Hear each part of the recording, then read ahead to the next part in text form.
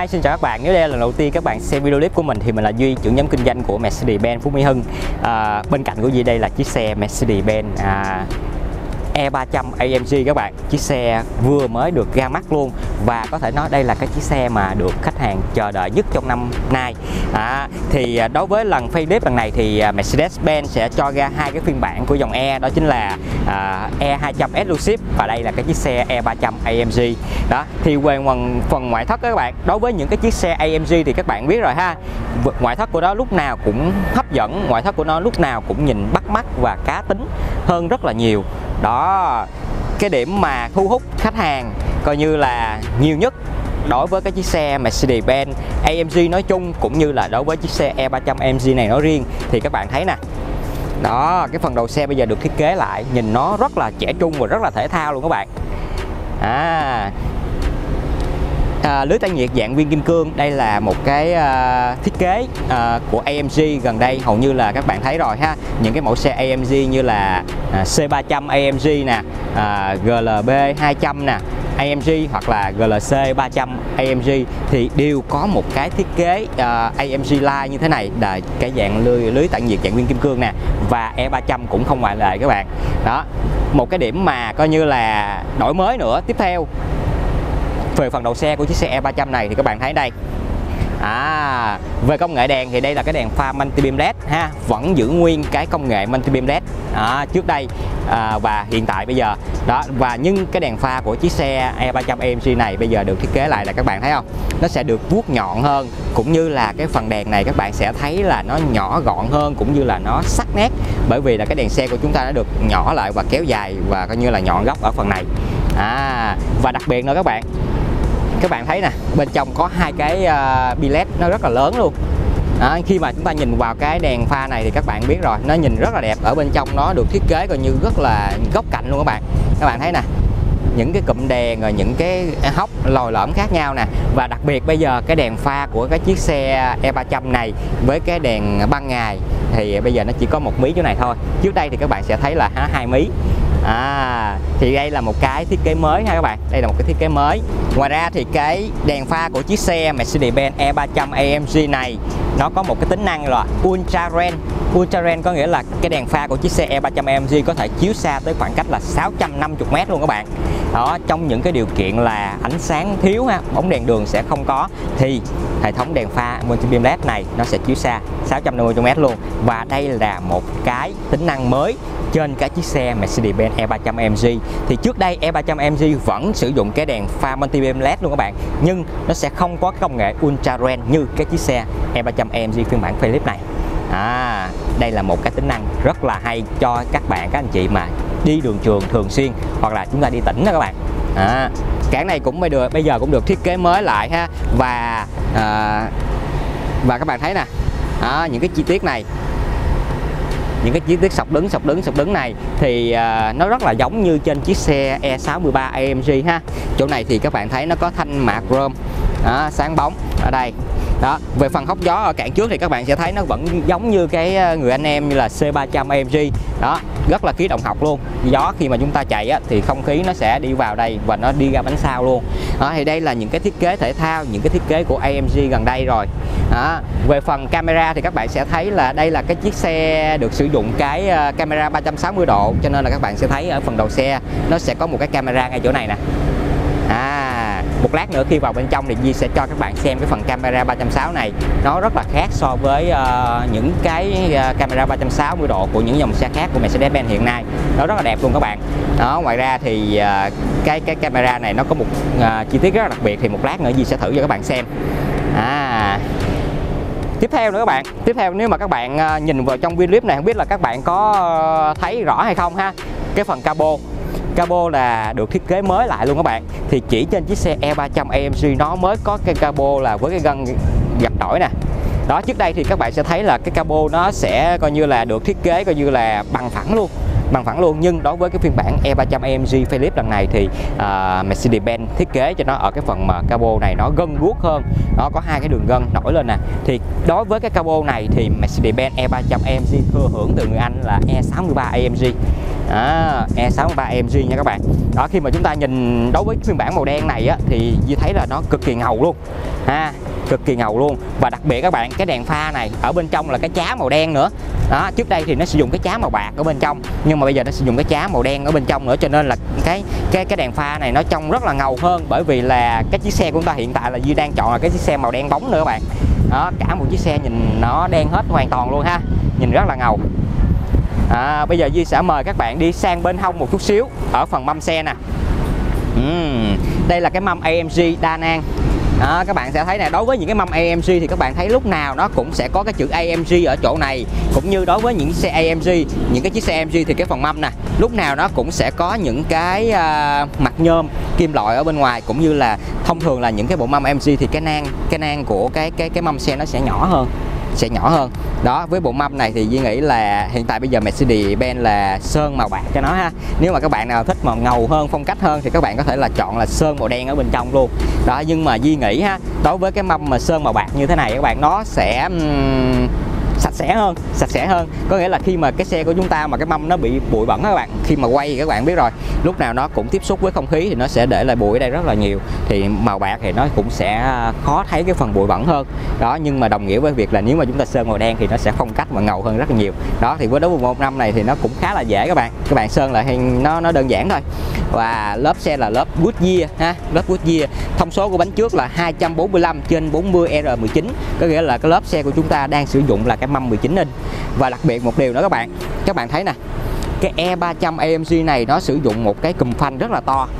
Uhm, nó to hơn rất là nhiều so với những cái phiên bản của dòng xe C hoặc là GLC đó các bạn thấy không? Cùm phanh to nè. Nó sẽ phải là gấp đôi cái bộ phanh thông thường luôn các bạn. À. Các bạn thấy không? Và đặc biệt cái hệ thống treo của cái chiếc xe E300 AMG này là hệ thống treo thể thao. Ha các bạn hệ thống treo thể thao luôn đó thì các bạn biết là hệ thống treo thể thao thì nó sẽ um, um, làm việc tốt hơn so với là hệ thống uh, treo thông thường um. ok bây giờ duy sẽ mời các bạn uh, đi sang bên hông một chút xíu ha ở đây thì E300 AMG thì uh, đây có thể nói là cái cái cái cái cái, cái uh, phiên bản cao nhất trong cái dòng E hiện tại bây giờ bởi vì có hai phiên bản thôi các bạn. Cho nên là à, uh, E300 AMG nó sử dụng cái uh, hệ thống uh, lóc cửa thông minh là Keyless Go nè. Các bạn sẽ thấy ở đây nó sẽ có một cái uh, chi tiết màu chrome cũng như ở đây có một cái nút cảm ứng. Khi mà chúng ta chạm vào đây thì xe nó sẽ lóc cửa cũng như là chạm vào đây thì xe sẽ mở cửa. Thì đối với hệ thống Keyless Go này thì nó có rất là nhiều trên những cái mẫu xe của Mercedes-Benz hiện tại. Và đối với hệ thống uh, lóc cửa thông minh này thì Di cũng đã giới thiệu cho các bạn rất là nhiều rồi ha. Uhm. bây giờ Duy sẽ cho các bạn xem cái thông số bánh sau nó có khác hay không các bạn nha. Thì đối với thông số bánh sau hiện tại bây giờ là 275 trên 35 R19 các bạn. Có nghĩa là bánh sau về bề hông lớp á, nó sẽ rộng hơn. Phía trước chỉ có 245 thôi nhưng mà phía sau chúng ta là 275 đó cái bánh sau nó sẽ to hơn so với bánh trước. Thì à, đối với những chiếc xe thiết kế mà theo phong cách AMG các bạn thường thường bánh sau sẽ làm to hơn. Đó, để tăng cái độ bám đường hơn các bạn nha cũng như là đây là chiếc xe vận hành bằng cầu sao nữa. Cho nên là Mercedes-Benz sẽ trang bị cái cái cái bánh xe sau nó bản hông nó to hơn nhìn nó ngầu hơn luôn các bạn. Các bạn ở đây sẽ thấy là có chữ à, E300 cũng như là đây có cái logo AMG ha. À, được đối xứng hai bên à, và đây thì bô kép vẫn là cái chi tiết chi tiết mà được uh, thiết kế coi như là hầu như tất cả những cái dòng xe hiện tại bây giờ của Mercedes-Benz rồi. Và đồng nghĩa với việc là chiếc xe E300 AMG này sử dụng cái body kit của AMG cho nên các bạn sẽ thấy là ở đây đó nó sẽ có hai cái cánh điều hướng gió nè. Đó, thì đối với hai cánh điều hướng gió này thì uh, Duy nghĩ nha theo Duy nghĩ thì uh, trên những cái xe mà um, uh, uh, lưu hành trên đường phố thông thường các bạn thì hai cái cánh này nó cũng không có tác dụng nhiều trong cái việc mà uh, khí động học đâu. Nhưng mà khi mà chúng ta nhìn từ phía sau á, những cái chiếc xe đi phía sau chúng ta nhìn vào thì cảm giác nó sẽ thể thao và ngầu hơn ha. Rất là ngầu. À tiếp theo nữa các bạn đèn pha. Đèn pha sau đây là một cái chi tiết cũng là thiết kế mới của chiếc xe E300 AMG này. Thì trước đây các bạn sẽ thấy là cái phần đèn pha nó sẽ dài xuống đây to hơn xuống đây một chút xíu nhưng mà nó chỉ giới hạn ở cái phần này thôi đó, bây giờ thì đèn pha được thiết kế là vuốt nhỏ lại cũng như là à, cái đèn nó sẽ kéo dài qua cái phần cabo bên này luôn. Đó về buổi tối các bạn khi các bạn đi buổi tối thì các bạn sẽ thấy là cái phần đuôi xe nó có vẻ như là nó um, cá tính hơn cũng như là à, cái phần đèn này nè nó được kéo dài á cho nên các bạn sẽ thấy là rõ hơn vào ban đêm nữa ha các bạn. À, ở đây thì à, vẫn được có một cái chi tiết mạ chrome chỗ này. Ừ, camera lùi ở phía sau đó, về phần đuôi xe thì các bạn sẽ thấy là nó được thiết kế lại phần đèn là chủ yếu ha. Bây giờ Di sẽ mở cái cốp lên. À khi mà Di bật cái cốp lên thì camera tự động nó thụt vào các bạn thì đối với cái cốp xe của chiếc xe E300 AMG này nó sẽ rộng hơn uh, nó sẽ rộng hơn. Thể tích của cái chiếc xe E300 phiên bản trước đó là khoảng 10 lít hiện tại là nó khoảng tầm 540 lít cho cái cốp xe này các bạn. Đó, rất là rộng ha. Thì uh, có thể nói uh, cái cốp xe của chiếc xe E300 AMG này đây là cái cốp xe mà rộng nhất rộng nhất hiện tại ha nó rộng hơn cả cái dòng xe S-Class luôn các bạn. Rộng hơn cả dòng xe S-Class luôn nha. Các bạn thấy chiếc S-Class nó rất là to nhưng mà thực ra cái cốp xe nó sẽ nhỏ hơn cái chiếc xe E300MC này. Uhm, đây là những cái quà tặng theo xe cho khách hàng các bạn. À, một cái hộp quà ha. Mình sẽ để ở đây. Đây là một cái túi y tế. À, túi y tế thì hầu như đây là cái trang bị tiêu chuẩn của Mercedes-Benz. Hầu như tất cả những cái chiếc xe của Mercedes-Benz đều có trang bị cái túi y tế hết ha đây là lưới để chúng ta giữ đồ ha khăn đồ lại. Di sẽ để ở đây. Đây là sách hướng dẫn sử dụng cũng như là một cái uh, túi da để chúng ta có thể là để được giấy tờ xe hoặc là đăng kiểm xe nằm ở đây. Sách hướng dẫn sử dụng những cái thông tin mà chúng ta có thể tìm hiểu thêm ở đây ha. Và cái quà tặng theo xe của chúng ta đó chính là cái uh, tiếp theo đó chính là cái thảm thảm xe. Thì đối với cái thảm xe của E300 này thì các bạn sẽ thấy đây là cái thảm của AMG luôn à, AMG nó sẽ khác với cái thảm thông thường ở cái phần chất liệu cũng như là ở đây nó có theo cái chữ AMG nữa các bạn. À, có theo cái chữ AMG luôn. À, các bạn thấy không? Rất là đẹp. Phần ở dưới cái cốp xe này thì các bạn sẽ thấy là nó chỉ có một cái à, vỏ giỏ để chúng ta có thể là để đồ. À, ở đây cái giỏ xếp thôi. Sẽ bỏ lại ở đây ha đó thì E300 của chúng ta sử dụng cái lớp xe Grandlat các bạn nha. Grandlat ở đây là nó sẽ không có sử dụng lớp xe dự phòng cũng như là lớp Grandlat nó sẽ an toàn hơn cho các anh chị các bạn khi mà đi ở tốc độ cao. Các anh chị các bạn thử hình dung ha nếu mà chúng ta đi uh, trên đường cao tốc ở tốc độ khoảng tầm 120 km trên giờ đi đó trong trường hợp bị nổ lớp thì các bạn biết rồi cực kỳ nguy hiểm luôn. Cái việc mà mất lái ha, thì nó nó nó nó rất là nguy hiểm đối với chiếc xe này. Nhưng đối với chiếc xe E300 AMG của chúng ta thì được trang bị cái lớp xe Grandlat thì cái hiện tượng bị mất lái nó nó sẽ không còn. Đó thì đối với uh, duy nha duy thực cực kỳ thích những cái chiếc xe có trang bị cái lớp Runlat này. Bởi vì khi chúng ta lái xe các bạn chúng ta chạy nhanh á chúng ta sẽ hoàn toàn tự tin luôn ha hoàn toàn tự tin. Có rất là nhiều những à, anh chị khách hàng nói là à cái bộ lớp xe Runlat nó sẽ không êm các bạn cái lớp xe Runlat nó sẽ ồn hơn. Nhưng mà không phải đâu các bạn. Đó một chiếc xe mà nó êm ái ha nó cách âm tốt thì nó còn phụ thuộc vào rất là nhiều những yếu tố nữa chứ không phải là cái lớp xe Runlat đâu. Nhưng đối với cái lớp xe Runlat này thì nó sẽ an toàn hơn các bạn. Các biệt bạn các bạn biết rồi. An toàn lúc nào nó cũng là trên hết ha. Ở đây thì các bạn sẽ thấy là có một cái uh, biển cảnh báo tam giác nằm ở đây ha. Trong những trường hợp mà xe chúng ta không thể chạy được thì chúng ta có thể lấy cái này ra để phía sau để cảnh báo cho cái xe phía sau đi tới ha. Ở đây thì có hai cái nút bấm là nút bấm đóng cốp và nút bấm uh, uh, khóa xe ha. Bây giờ Duy sẽ đóng cốp lại.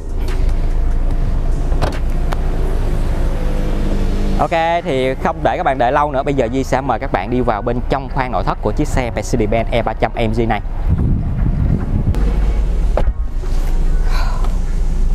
Ngày hôm nay thì Di à, mặc cái bộ vest màu đen ha chọn cái chiếc xe màu đen à, uh, E300 màu đen cũng như là cái phần nội thất màu đen. À, các bạn thấy không rất là ngầu ha nhìn cũng rất là được ok đúng không các bạn? Ừ, hiện tại bây giờ thì Di đang ngồi bên trong khoang nội thất rồi. Thì cái khoang nội thất của chiếc xe E300 AMG này về thiết kế tổng quan tổng quan luôn nha các bạn.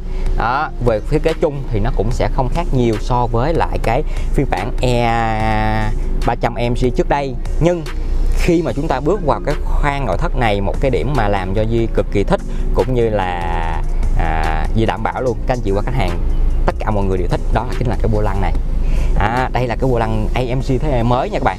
Những cái chiếc xe AMG bắt đầu từ bây giờ mới được thiết kế của cái vô lăng này. À, các bạn thấy cái vô lăng này có đẹp hay không? Đó chỗ này thì được thiết kế là một cái cụm tròn có một cái logo Mercedes-Benz rất là to ở đây. Cũng như đây là cái vô lăng AMG cho nên là các bạn sẽ thấy nè cái vô lăng nó sẽ nhỏ hơn cái vô lăng thông thường cũng như là ở cái phần này nó sẽ được thiết kế bằng à còn khu vực này các bạn trước đây á, thì các bạn sẽ thấy nó là một cái thanh coi như là liền khói luôn. Nhưng bây giờ là Mercedes-Benz sẽ thiết kế lại cái vô lăng này nó là tách đôi ra ở phần cạnh này. À khi mà chúng ta lái các bạn ngón tay chúng ta để ở đây nè. À, chúng ta có thể là di chuyển hoạt động ở cái màn hình này điều khiển cái màn hình này. À, bên đây cũng vậy rất là thuận tiện luôn. Ngoài ra những cái nút bấm bây giờ nó được thiết kế lại nó là một cái phím liền đó các bạn sẽ không thấy là những cái phím của nó được tách rời nhau nữa mà là liền luôn các bạn. À, liền luôn ha. Thì ở đây là nút cảm ứng nè. Đó, gì có thể là cảm ứng nè.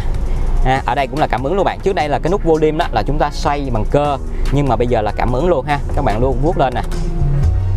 À, vuốt lên vuốt xuống ha. Bên này cũng vậy à, thì cái phần vô lăng này thì Di thấy quá là tuyệt vời luôn các bạn. Ngoài ra thì đây là cái vô lăng của AMG và được bọc da nắp 3 nữa. Cho nên là khi mà chúng ta cầm vào các bạn thấy nó rất là êm.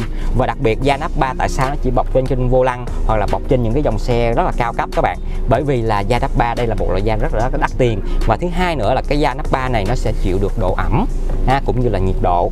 Đó, các bạn biết rồi vô lăng của chúng ta chúng ta lái hàng ngày ha thì cái việc mà mồ hôi tay nó không thể nào tránh được đó, thì cái vô lăng mà nó trang bị cái da nắp ba như thế này thì cầm nó cũng rất là thích hơn. À, ngoài ra thì cái cái lẫy số này các bạn cái vô lăng nó được thiết kế mới lại cũng như cái phần lẫy số được thiết kế lại nè. Đó các bạn thấy không? Cái lẫy số được thiết kế to hơn cũng như là khi mà chúng ta ngồi từ vị trí này thì chúng ta sẽ dễ dàng thấy là cái nút dấu cộng cũng như là nút dấu trừ là tăng số hoặc là giảm số. À vô lăng này đánh cực kỳ đã luôn các bạn. Rất là thích rồi. ha à, ngoài ra thì cái ghế xe này cái ghế xe này các bạn thấy nó sẽ không khác gì so với cái chiếc xe của E300 trước đây. Vẫn là được sử dụng cái da Nappa luôn các bạn nha. Đây là cái da Nappa Exclusive. Cảm giác khi mà chúng ta ngồi vào nó rất là mềm mại cũng như rất là mát. Và đặc biệt cái ghế da của chiếc xe E300 AMG này được thiết kế là ghế thể thao. À, cho bạn thấy nè hai bên cái thành lớp nó rất là dày cũng như là khi mà Diêu ngồi vào cái ghế này thì cái chiếc xe của chúng ta cái ghế của chúng ta nó sẽ cảm giác nó ôm vào người luôn các bạn. Ôm vào người rất là đã ha. Các bạn lái mà khoảng tầm mà 3 tiếng 5 tiếng ha các bạn thì các bạn cũng sẽ thấy coi như là không có mệt mỏi bởi vì cái thiết kế của cái ghế này nó rất là đã luôn. Đó, da nắp ba nữa ngồi rất là mềm. Đó các bạn thấy những cái đường chỉ nè. Những đường chỉ nó mai nè các bạn. Đó, camera quay lại gần hơn nè đó các bạn thấy không? Những cái đường chỉ mai rất là đẹp luôn. Tuyệt vời. Đó. Thực ra những cái đường chỉ này là những cái chi tiết trang trí đó các bạn. Đó, rất là rất là đẹp hơn ha. Ok bây giờ tiếp theo nữa thì Di sẽ nói từ cái khu vực bên này. Đó, thì uh, phần gỗ phần gỗ của uh, chiếc E300MG này thì sử dụng cái lớp gỗ mờ. À, trước đây thì các bạn sẽ thấy là được ốp bằng cái uh, một cái dạng giống như là vân vân carbon. Đó, một một cái ốp kim loại dạng vân carbon thôi chứ không phải là carbon. Nhưng mà đối với cái E300 AMG phiên bản facelift này thì được ốp gỗ màu đen mờ đó, thì chi tiết gỗ màu đen mờ này nó sẽ làm cho nội thất của chúng ta nó thêm phần cá tính cũng như là nó ngầu hơn, sẽ ngầu hơn. Đó, các bạn sẽ thấy những cái vân gỗ nè, chúng ta sờ vào, chúng ta cảm giác là nó nó nó rất là thật luôn các bạn. Bởi vì gỗ này nó sẽ không được phủ một cái lớp bóng lên hết đó, khi mà chúng ta sờ vào đây chúng ta cũng cảm giác là nó sẽ không có để là cái dấu vân tay. Đó, các bạn thấy không? Đó nó cũng đồng nghĩa với việc là nó sạch sẽ hơn ha sạch sẽ hơn. Ok đó, Master 13 lo vẫn được trang bị trên chiếc xe E300 AMG này. Thì những anh chị các bạn nào mà khó tính về nghe nhạc ha thì Di đảm bảo luôn khi mà nghe cái hệ thống Boommaster này 13 lo 590W của chiếc xe E300 AMG này coi như cũng không thể nào chê được các bạn. Đó, đây là cái âm thanh có thể nói là hàng đầu trên thế giới hiện tại bây giờ. Và đối với bộ loa Boommaster này thì bên Di vẫn trang bị trên những cái dòng xe rất là cao cấp như là S-Class hoặc là Maybach. À S-Class hoặc là Maybach. ok tiếp theo nữa các bạn. Công tắc chỉnh ghế nè. Thì công tắc chỉnh ghế này cũng sẽ không có gì thay đổi. Cái ghế chúng ta có thể là chỉnh được 8 hướng ha. Đó, và kể cả là ba cái vị trí nhớ ghế ở đây. À, cửa sổ trời cũng được thiết kế là panoramic sunroof coi như là kiểu phía trời toàn phần luôn các bạn. Đó, thì đối với cái chiếc xe này là cái chiếc xe AMG cho nên là các bạn sẽ thấy là trần xe được thiết kế màu đen luôn nè các bạn. À, dàn xe được thiết kế màu đen luôn. Đó, khi mà ngồi bên trong này mình cảm giác là cái chiếc xe nó rất là ngầu rất là thể thao ha. À. một cái điểm mà nãy giờ Di nói lòng vòng lòng vòng bạn nhưng mà cái điểm mà mà mà mà cần phải nói nhiều hơn đó bạn cho cái phần nâng cấp lần này. Một cái trang bị đáng giá đó chính là cái phần màn hình này. Các bạn sẽ thấy về cái thiết kế màn hình này nó sẽ giống như y như trên cái E300 AMG trước đó luôn. Nhưng bây giờ là cảm ứng luôn nha các bạn. Đây là màn hình MBUX thế hệ mới nhất của Mercedes-Benz. Đó, các bạn sẽ thấy nè, cảm ứng nè. Đó đồ ha. Xe này chúng ta sẽ được trang bị bản đồ. Đó, đối với cái bản đồ này các bạn thấy nè, nó thiết kế full luôn. Rất là đã luôn các bạn, thấy không? Rất là sắc nét luôn các bạn. Ngoài ra, Di sẽ vào đây cho các bạn xem ừ hệ thống hỗ trợ hệ thống phanh chủ động. Đó, đây là một cái chi tiết đáng phải nói nữa nè các bạn. Hệ thống phanh chủ động nha. Đó thì khi mà trong trường hợp mà xe của chúng ta người lái của chúng ta mà không có tập trung trong những cái trường hợp khẩn cấp nguy hiểm thì chiếc xe E300 AMG này có thể là tự động phanh lại luôn các bạn nha. Hệ thống tự động phanh lại luôn. Active Brake Assist đó đây là cái tính năng hỗ trợ phanh chủ động. Đó và hiện tại bây giờ chỉ có chiếc xe Mercedes-Benz E300 AMG hoặc là E200 Exclusive phiên bản facelift này mới được trang bị hệ thống phanh chủ động này. À, các bạn thấy không? Rất là nhiều những anh chị khách hàng quan tâm tới cái hệ thống phanh này. Đó thì trước đây à, những dòng xe của Mercedes-Benz đã có trang bị cái hệ thống phanh chủ động này rồi. Nhưng um, cái thời gian mà gần đây là đối với chính xác là đối với cái phiên bản mà E à, 300 cái phiên bản trước các bạn thì lại không có tính năng này. Và bây giờ Mercedes-Benz lại trang bị cho cái chiếc xe E300 AMG cũng như E200 Exclusive cái tính năng hỗ trợ phanh chủ động này. Và đây là một cái tính năng mà Di bảo đảm luôn. Hầu như tất cả những cái người dùng xe cũng như là cả những cái anh chị nào mà thích lái xe thì đều quan tâm tới cái hệ thống phanh chủ động này bởi vì nó an toàn hơn cho chúng ta rất là nhiều. Ngoài ra thì cái hệ thống phanh chủ động này chúng ta có thể chọn được những cái mức độ khác nhau nào là sớm nè trung bình nè trễ nè cũng như là có thể là tắt đi luôn. Trong những trường hợp mà chúng ta nói là đi trong thành phố kẹt xe này nọ ha thì chúng ta không cần không cần cái tính năng hỗ trợ phanh chủ động này thì chúng ta có thể tắt đi. Đó, còn bình thường thì chúng ta cứ để cho nó hoạt động các bạn nha. Đó, những anh chị nào mà coi như không thích sử dụng tính năng này thì có thể là tắt á hoặc là có thể mở. À, rất là hay. Ngoài ra tiếp theo Di sẽ vào cái phần này. Comfort. Comfort. Đó trong cái phần comfort này nó sẽ có tính năng là ghế động lực. Ghế động lực ở đây là sao các bạn? Nó có giống cái ghế massage hay không ha? Ha nó sẽ khác cái ghế massage. À, ghế động lực là cho hai cái ghế trước này thôi các bạn nha à, khi mà di chọn vào cái tính năng ghế động lực cho hai ghế nè thì các bạn sẽ thấy á, là trên cái màn hình nó sẽ nhấp nháy cái đèn màu xanh ở hai cái bên hông cũng như là cái phần yên ghế. Thì khi mà chúng ta lái xe mà một cái đoạn đường mà dài các bạn 3 tiếng 5 tiếng á, thì thông thường chúng ta thường rất là mỏi. Thì chúng ta hay là sửa thế ngồi ha sửa thế ngồi giống như như thế này. Thì cái ghế động lực này nó sẽ nhúc nhích cái ghế một ít sẽ co bóp hai cái thành ghế cũng như là cái phần yên ghế này để cho chúng ta lưu thông máu huyết. Đó tránh cái hiện tượng là bị mỏi cũng như là bị tê chân này nọ. Đó đây là một cái cái tính năng cũng rất là hay luôn. Mà hiện tại à, đối với những chiếc xe sedan mới có cái chiếc xe sedan E-Class này mới có thôi. Còn lại thì nó chỉ có trên chiếc xe uh, GLS 450 hoặc là GOE 450 à, hay là GLS 450 GLE 450 các bạn à, đây là một cái điểm mới trên chiếc xe E300MG này. Ha. Quá là tuyệt vời luôn. Di cực kỳ thích cái màn hình à, MBUX này các bạn. Đó tiếp theo nữa các bạn. Một cái điểm mà hầu như là khi mà Di lên xe Di lái xe thì Di đều phải làm cái thao tác này hết. Đó chính là cắm cái điện thoại của Di vào trong cái chiếc xe qua cái hệ thống Apple CarPlay đó, bây giờ bây giờ Mercedes-Benz trang bị cho chiếc xe E300 AMG này ở cái phần mà USB là USB-C hết rồi các bạn. Đó, các bạn biết rồi USB-C nó sẽ truyền tín hiệu nhanh hơn rất là nhiều so với là USB uh, à, thông thường. Đó, bây giờ Duy sẽ kết nối cái điện thoại của Duy vô.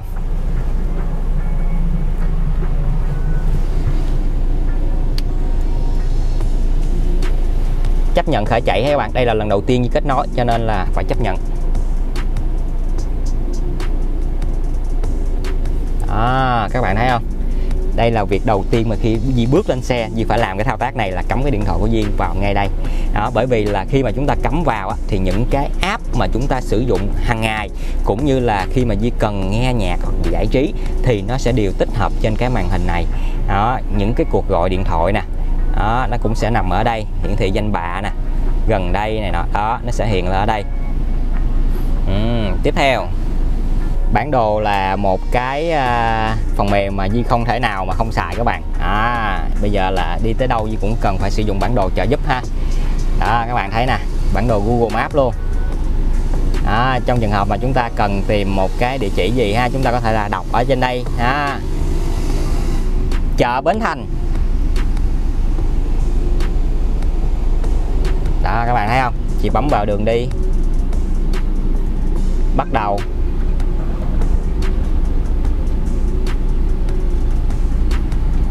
Như vậy là xong thôi các bạn. Các bạn sẽ đi theo cái hướng dẫn của bản đồ. À, vậy thôi. Ngoài ra thì có một cái rất là hay trên cái điện thoại của Di nè các bạn. Di thì thích nghe nhạc ha cho nên là Di à, sẽ sử dụng cái uh, YouTube. YouTube là chính. À. chẳng hạn như bây giờ Di mở cái kênh của Di đi. Kênh của bạn đây.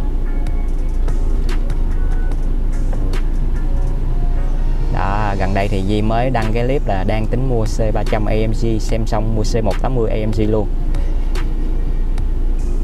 Đó, bạn nghe nè.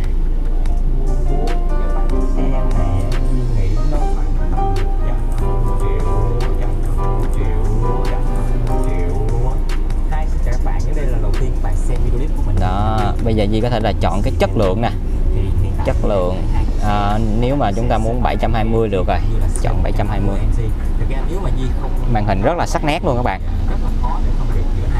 Rất là đã ha. Nói chung là cái màn hình MBUX này thì à, cho nó trải nghiệm người dùng rất là tuyệt vời. Đó, nếu mà các bạn mà mà mà có sử dụng những cái mẫu xe mà được trang bị cái màn hình MBUX của Mercedes-Benz thì các bạn sẽ biết rồi. Nó tương thích với iPhone rất là tốt luôn. Đó cái cảm giác mà chúng ta trượt cũng như là là chúng ta cảm ứng trên này nó rất là nhạy y như cái iPhone luôn các bạn. Xài rất là thích luôn. À, ok ngoài ra thì à, khu vực này chúng ta có một cái chỗ để chúng ta sạc không dây nè. Đó Di sẽ để cái điện thoại của Di ở đây thì nó sẽ sạc không dây. Nó sẽ báo chúng ta là hệ thống sạc không dây đã được khởi động. Uhm. hiện tại hồi nãy giờ là Di chọn cái chế độ ghế động lực đó các bạn cho nên các bạn sẽ thấy là cái ghế nó sẽ nhúc nhích nhúc nhích nhúc nhích này ha. Rất là hay. Đó, cửa sổ trời thì các bạn có thể là mở ra ở đây.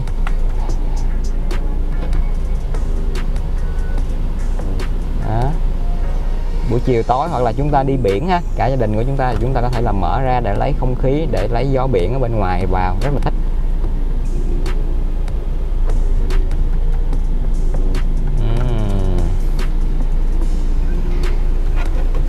Về cái khu vực này các bạn. Nói chung là về tổng thể hồi nãy gì đã có nói rồi các bạn. Nó sẽ không thiết kế gì thay đổi so với cái phiên bản trước đây.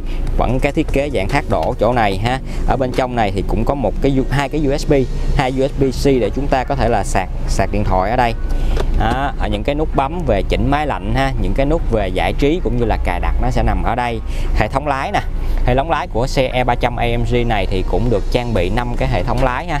Năm cái hệ thống lái đó là Eco nè Comfort, nè, Sport hoặc là Sport cộng hoặc chế độ lái theo sở thích cá nhân. Đó những anh chị là các bạn nào đã, đã sử dụng qua hoặc là Mercedes-Benz rồi anh chị sẽ biết cái tính năng này ha. Đó thì bà Di cũng đã nói rất là nhiều về cái tính năng lái này rồi. Khi chúng ta đang lái chúng ta vẫn có thể là à, thay đổi chế độ lái được các bạn nha. À hệ thống ờ, đậu xe tự động của E300 AMG vẫn được ờ, vẫn được trang bị trên cái E300 AMG này. Ừ. volume lớn nhỏ của xe ở đây tắt mở màn hình cũng như đây là cái nút để chúng ta điều chỉnh cái rèm điện ở phía sau nè. Đó cái nút điều chỉnh rèm điện nè các bạn. Đó, xe của chúng ta thì được trang bị rèm điện ở phía sau cùng luôn. Hệ thống camera 360 độ của chiếc xe Mercedes-Benz E300 AMG đây là một cái hệ thống camera thế hệ mới nè các bạn. Đó khi mà chúng ta đi gần nè. Đó, đi gần hoặc là xung quanh xe xung quanh xe của chúng ta sẽ có những cái vật cản thì các bạn sẽ thấy nè, camera 360 độ tự động kích hoạt lên nè.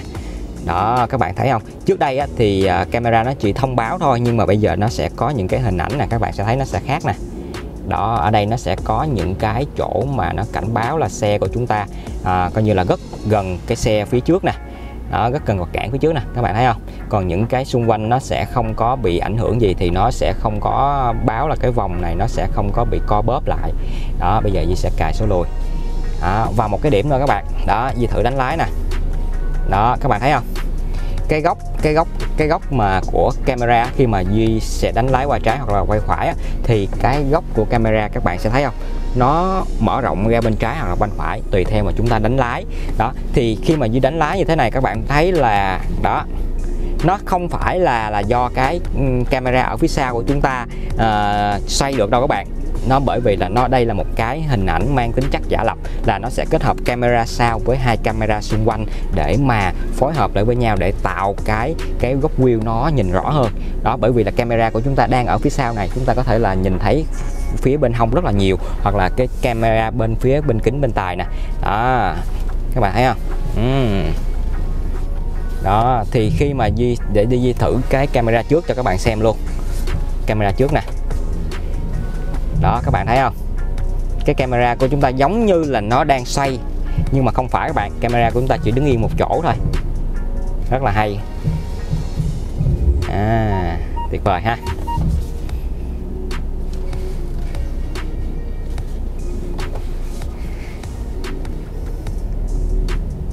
Bây giờ Duy sẽ chạy một vòng để cảm nhận nha thực ra thì uh, E300 AMG thì à, uh, Di cũng đã review cũng như đề lái và cảm nhận trên đường cao tốc rồi. Nếu các anh chị và các bạn nào mà chưa có xem á, thì uh, thì có thể là xem lại ở cái phần mô tả ha. Di sẽ để cái link ở phần mô tả. À, thì cái cảm giác lái thì giữa chiếc xe này với chiếc xe phiên bản trước đây thì Di nghĩ sẽ không có gì thay đổi đâu các bạn Nó sẽ không khác gì nhiều đâu. À, Vẫn là cái cảm giác rất là thích ha Rất là êm ái, tăng tốc rất là mượt mà trên chiếc xe E300 AMG này à, cách âm thì tuyệt vời rồi. Đối với dòng E thì à, cách âm rất là tốt các bạn. Hiện tại bây giờ Di đang ngồi ở khoang phía sau của chiếc xe Mercedes-Benz E300 AMG Thì thực ra các bạn nói cái chiếc xe E300 AMG này không phải là dành chiếc xe dành cho người lái nữa Mà là chiếc xe dành cho người ngồi nữa. Bởi vì đây là thiết kế dành cho những doanh nhân.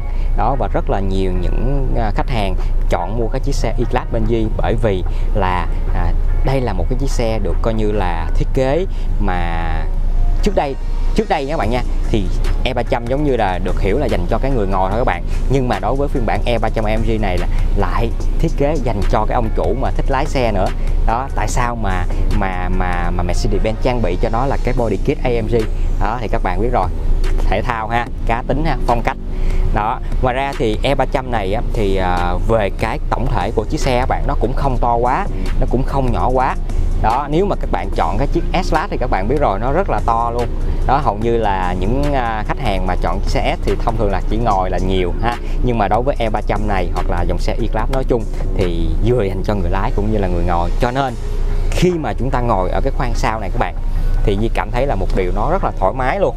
À, rất là thoải mái luôn. Cái ghế của chúng ta sẽ được thiết kế trũng một chút xíu. Đó trũng một chút xíu. Khi chúng ta ngồi vào thì cảm giác nó sẽ ôm vào người của chúng ta à, ngoài ra thì ở khu vực này chúng ta có thể chỉnh được máy lạnh nè. Đó bởi vì đây là dành xe dành cho cái ông chủ mà các bạn. Cho nên là cái việc mà được trang bị cái hệ thống máy lạnh cho khu vực phía sau này là một điều hiển nhiên rồi. Mercedes-Benz E300 AMG này thì được trang bị hệ thống máy lạnh là ba vùng tự động ba vùng tự động các bạn. Cho nên là à, khu vực phía trước có thể chỉnh nhiệt độ riêng cũng như là phía sau này chúng ta có thể chỉnh được nhiệt độ riêng. Đó, các bạn thấy này chân có gì có thể là duỗi thẳng ra cũng như là cái phần mà đầu gối nó còn cách rất là xa so với cái ghế trước. À, ngoài ra các bạn sẽ thấy ở khu vực này có một cái chỗ để tay ha nó cũng sẽ giống như so với lại cái phiên bản trước đây thôi. À, tiếp theo nữa là các bạn sẽ thấy ở trên cái cột này trên cột chữ B này các bạn ở đây nó sẽ có một cái cửa gió máy lạnh luôn hai bên à, các bạn thấy không? Thì đối với cái phiên bản E300 trước đây hoặc là E200 Aeroship nó sẽ không có cái cửa gió này các bạn. Đó đây là một cái coi như là thiết kế coi như là cải tiến trên cái chiếc xe E300 AMG này so với cái E300 AMG thế hệ trước nè. Đó Duy nghĩ là Mercedes-Benz bây giờ mới trang bị cho cái chiếc xe E300 AMG này mà không trang bị cho cái phiên bản trước đó thì thật ra là với phiên bản trước nó hơi thiếu sót đó các bạn.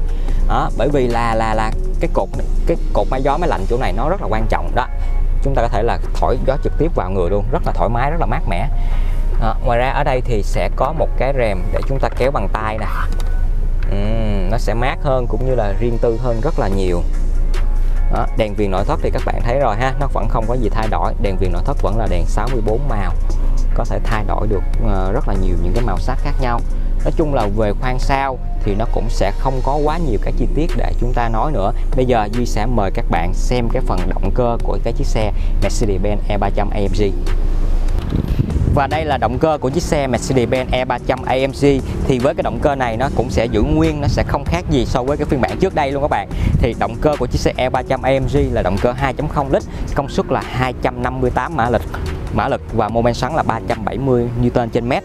Thì đối với chiếc xe E300 AMG này vẫn sử dụng cái hộp số tự động 9 cấp 9G Tronic mới nhất của Mercedes-Benz hiện tại. Và thời gian tăng tốc từ 0 đến 100 km/h của chiếc xe E300 AMG nó chỉ mất 6,2 giây. À, chỉ 6,2 giây thôi các bạn. Và chiếc xe E300 AMG này tại sao nó có cái mức tăng tốc từ 0 đến 100 km/h lý tưởng như vậy mặc dù là động cơ chỉ có 2.0 lít thôi. Bởi vì là chỉ số cản gió của chiếc xe E300 AMG này chỉ là 0.23 thôi các bạn. Đó nó có thể là đây là cái chỉ số cản gió um, thấp nhất trong cùng phân khúc luôn. Đó, các bạn thấy một chiếc xe rất là to như thế này nhưng mà chỉ số cản gió của nó nó nó gần như là bằng tương đương với những cái chiếc xe mà thể thao rất là nhỏ luôn các bạn. À Ok, bây giờ Di xin được phép kết thúc clip tại đây đi. Đó, thì ờ, về cái chiếc xe E300 AMG thì hồi nãy Di nãy giờ Di cũng đã review rất là kỹ cũng như là cho các bạn thấy cái sự khác biệt giữa cái phiên bản bây giờ cũng như là cái phiên bản trước đó. Và đối với chiếc xe E300 AMG này các bạn thấy không? Nó có rất là nhiều những cải tiến những cái phần trang bị nâng cấp đáng giá.